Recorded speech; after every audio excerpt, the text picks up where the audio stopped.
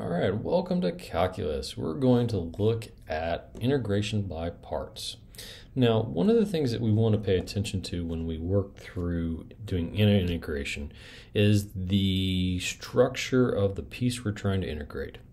Now, at this point, hopefully you're already familiar with integration by substitution, which mainly says take some u value, take a u, and pick one uh, one of these pieces over here to do that with. So let's just say, uh,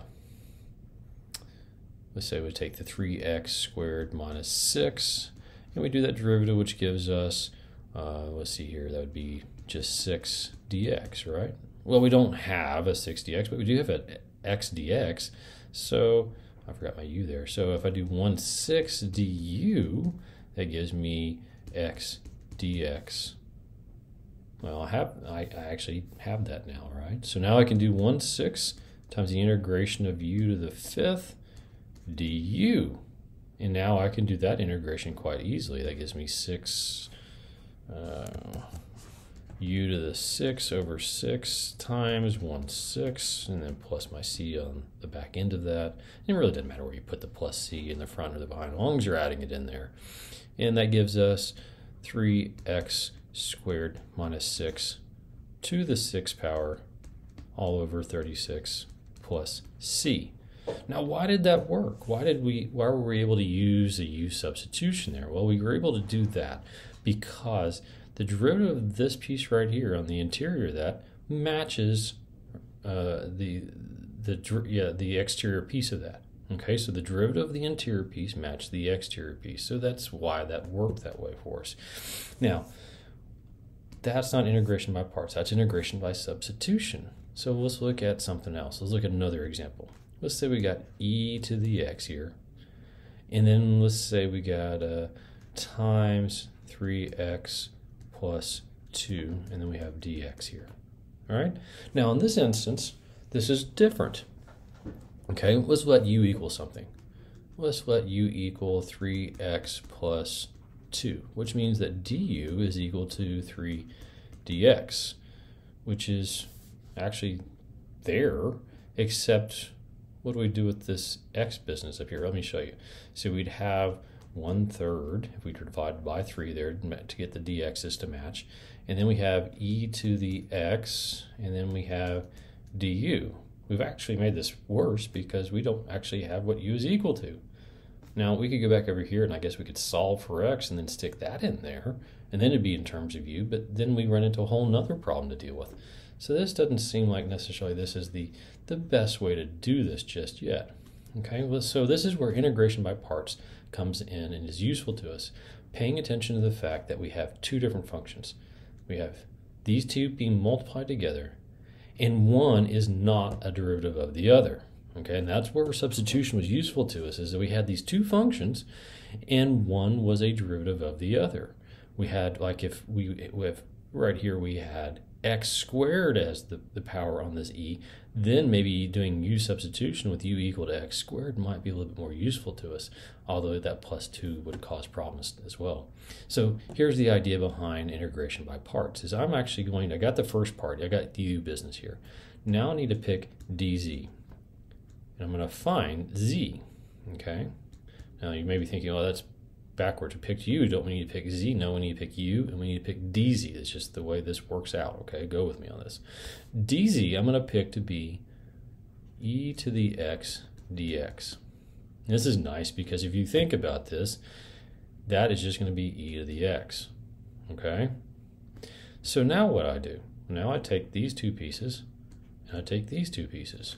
Okay? So I take the u and the, the z, and I take the du and the z. So now what I get is I get 3x plus 2 times e to the x minus the integration of 3e to the x dx. Well, that integration is pretty straightforward. So now I have 3x plus 2 e to the x minus 3e to the x and then plus c on the end of this. So e to the x integration of that is just e to the x. The 3 is the coefficient, so it has no effect upon those pieces other than just multiplying it by that. So there's that integration now for us. Now you could go ahead and I go ahead and encourage you to pause the video and just kind of prove to yourself that this is indeed the integration of the uh, of, of, the original equation that we're dealing with it or expression we're dealing with. So now let's just work through another example here. Okay, so what do we? Uh, what else can we do? Let's think about this and say what we need or what we're dealing with is anytime we have a situation where the two functions are unrelated, meaning that the derivative of one is not the derivative of the other. So let's say we got x squared plus 3 like this, and we'll call this, and then we have some other function, right? So what is the other function that could be there? Well, just about anything. How about sine of x? And then dx, right? So now, when we look at this, we see that these are unrelated. If I were to do the derivative of either one of these, pick either one of these as being the u, that's not going to give this the other one, so substitution doesn't work here. So integration by parts is what I'm going to have to do. So I need to pick the u, and I need to pick the dz, right? Um, and keep in mind, in different texts, you might run across it may be dw or other things like that. So what do we do here? So let's let u equal how about let's let u equal x squared plus 3, which means that du is equal to 2x dx, all right? And I'm going to let dz be sine of x dx, which means that z is going to be negative cosine of x. Now, what you'll notice I'm, i always do when I do substitution or when I do integration by parts is I always let the u almost always, let the u be the one of these two functions that is going to degrade faster. Okay, now when I say degrade faster, what I mean is think about what happened here. This was a degree of 2, this is a degree of 1 for the du part. That is making my life a little bit simpler. Got rid of one of the terms too. It went from being a binomial to being a monomial, so that made it smaller for me. So I'm purposely engineering picking the value of u. I get to pick what I want you to be, so I'm picking you to be things that are going to make my life easier. So now, remember I do uz and I do duz, okay? so now I'm going to do x squared plus 3 times negative cosine of x. And then I'll do the other part. So now I do integration of 2x cosine x dx, and that was already had a negative sign with it. So I'm just going to add, make that a plus sign. So keep in mind, when we do the integration here, the, the, the whole integration by parts business that we're doing here is uz minus the integration of z du. Okay, that's the form we're using. Where up here, this started off as doing the integration of u dz. Okay, and that's how this this breaks out if this, this formula is useful to you. Now, the problem I'm running into here with this is that this still has a monomial times a trig function. I got the first part done, but the, the other piece is still causing me problems. So what I'm going to do is I'm going to pick a whole nother u dz, and, and we can call it some other thing now if you want. We can call it z, and we can call it dw. Okay, so my z uh, v value, pardon me, my v value, I'm going to pick it still to be something that degrades, which means my dv is going to be 2 dx. My dw is going to be cosine of x dx, which means that w is sine of x. Okay, all right. So now I can do the VW and the DVW. Okay, so I, I pulled down that entire first business there. So it's x squared plus 3 negative cosine of x plus, and you keep track, and this is the only place where people really mess up once they get the hang of this is the minus signs and all that stuff you got to keep track of. And then we have 2x sine of x, and then minus the integration of sine of x and 2 dx. All right, so we're almost done.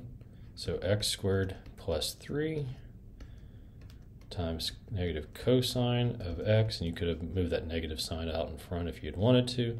Uh, that looks like I got a minus sign there, doesn't it? I don't, I don't know what that little stray mark there was. And then plus 2x sine x, and then minus the integration of 2 sine. Well, the integration of sine would be negative 2 cosine, and then plus c. And then, of course, you could simplify that if you wanted to into that. So there you go. There's integration by parts. There's two examples. I'm happy to make uh, do more examples and post them as B. Uh, sometimes these things get really messy. Uh, sometimes you, can see this one right here. I actually had to do this process twice in order to get to my my integration, but we want to keep going until we've gotten rid of that integration completely. We don't just do this once and think, oh, well, there we're done. No, we have more integration still to do. So the idea is if you still have like right here, we still have that integration sign. We haven't gotten rid of it yet. We haven't eliminated it. We still have to keep going in order to deal with that completely. So keep that in mind and keep moving forward with these as best you can. Reach out with questions and comments and, and requests for additional uh, videos. Take care.